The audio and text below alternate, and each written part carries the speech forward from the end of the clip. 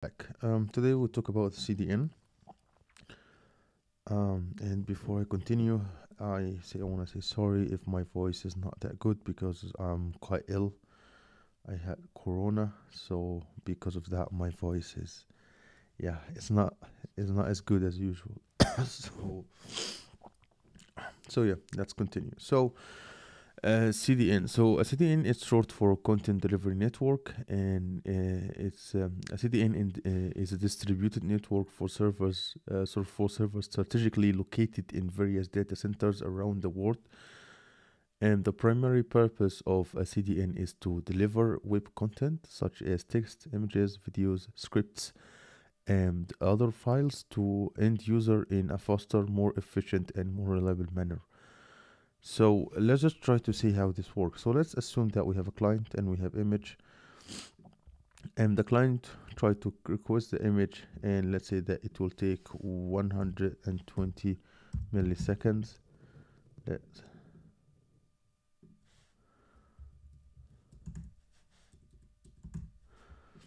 and uh, and the way that you try to know the number just just a number that I have done but the thing that the the the, the it's it's between the space between the client and the image. So basically the space if the if the if the if if the image was really far away if the server that this image located in is was really far away the, from the client the time it will be more. So if the client is trying to request an image if let's say the client is it's in Munich. An image is in Berlin. So if the client try to request the image in Berlin, the client in Munich try to request the image in Berlin. It will take 102, uh, 120 milliseconds.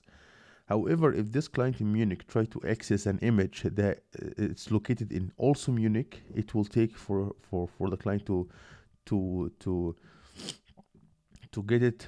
Uh, let's say that only 20 only 20 milliseconds only 20 milliseconds because it's much it's much closer to the client. So this what where the CDN comes from. The CDNs actually it's it works to no no to go back. Sorry. The CDN it works like that. It works to cache to cache the static content.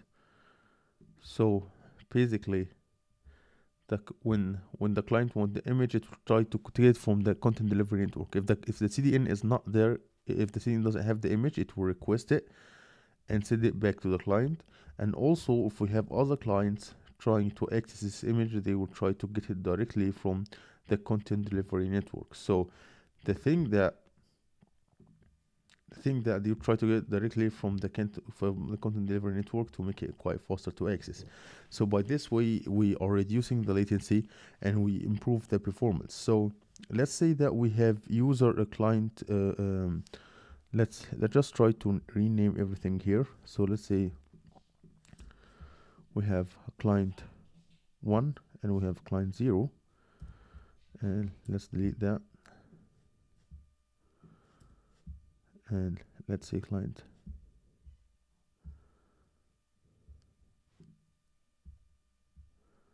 Client 0 is here client 1 is here and they are connect both with the CDN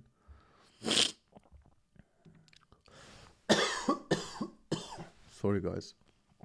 So let's say the client A and client B. Client A and client B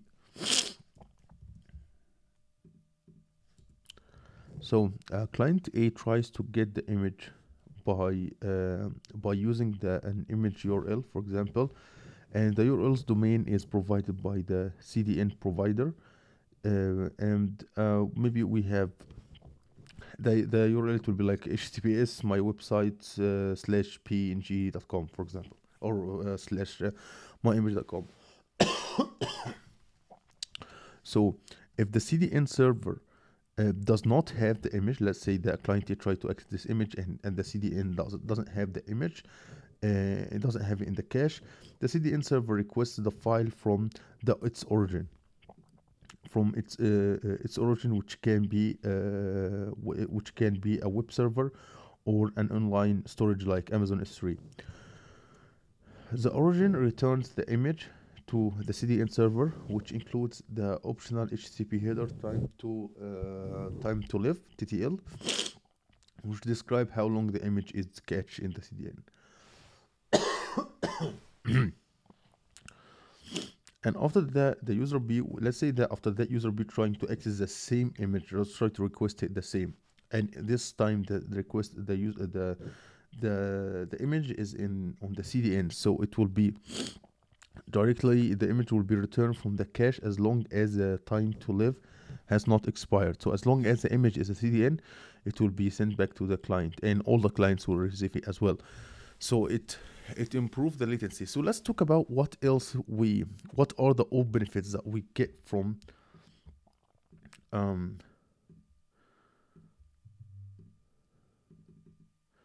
from the uh, from the CDN. So we have first what we talk about. It's reduce the latency. So CDNs cache content on servers that are geographically closer to end user, and this this pro, uh, proximity uh, proximity uh, reduce the the, the time it takes for the content to travel over the internet, significantly lowering latency and improving websites um, uh, loading time. Also, we have the improved uh, for the performance.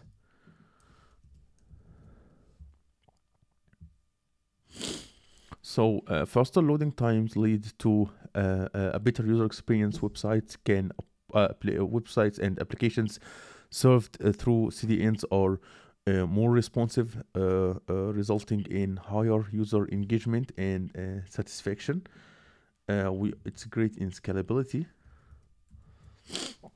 So CDNs distribute uh, the load across multiple servers, making it easier to handle highly levels, uh, high high level, uh, high levels of traffic and sudden spikes in demand.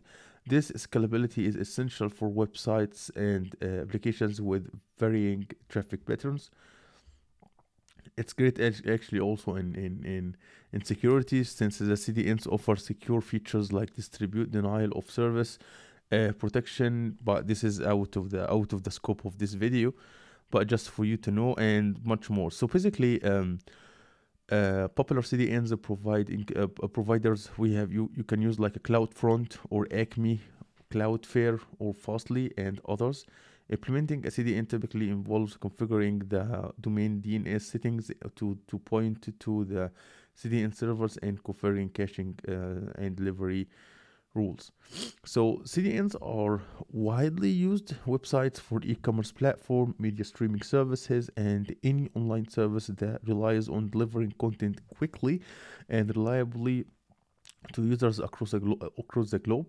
They are an essential component of a modern web uh, web infrastructure, helping businesses to provide a seamless online experience to their customers. Um, we have some considerations when it comes to work with CDNs. So we want to talk about some things. First, we want to talk about um, the first considerations that we talk about. We want to talk about the cost because they tend to cost a lot because CDNs are run by third-party providers and you are charged for data transfer in in and out of the CDN. So caching infrequently uh, used assets provides no significant benefits, so you should consider moving them out of the CDN. Also, we want to talk about the setting, um, setting, uh, setting uh, uh, cache expiry.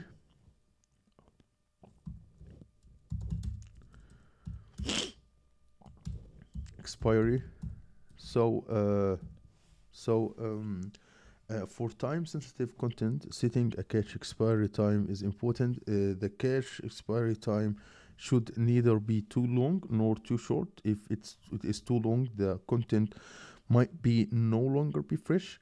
If it's too short, it can cause a repeat loading of content from um, origin servers on the, to the CDN. We have also lastly that we want to talk about the CDN fallback.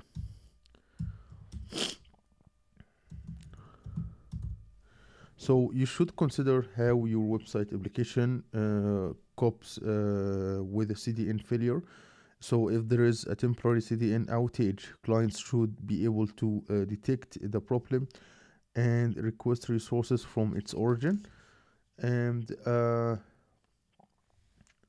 we want to talk about like um, we could talk about also about in, in invalidating files so you can remove um, a file from cdn before it expires by performing one uh, like in, invalidate uh, the cdn object using like APIs provider or we can use versioning if we have an old version of the website um, of the of the of the of the of the actual file. If we have an old version we can do that. So uh, that's it for today's video and i hope you like my content and i want to say sorry for my uh, for my voice for my voice um i guess it will be like maybe like one or two days like that and after that i'll be good again. So yeah that's it for today's video. I hope you like my content. If you like my content please subscribe and hit the notification bell so never miss a video and see you guys in future. Problem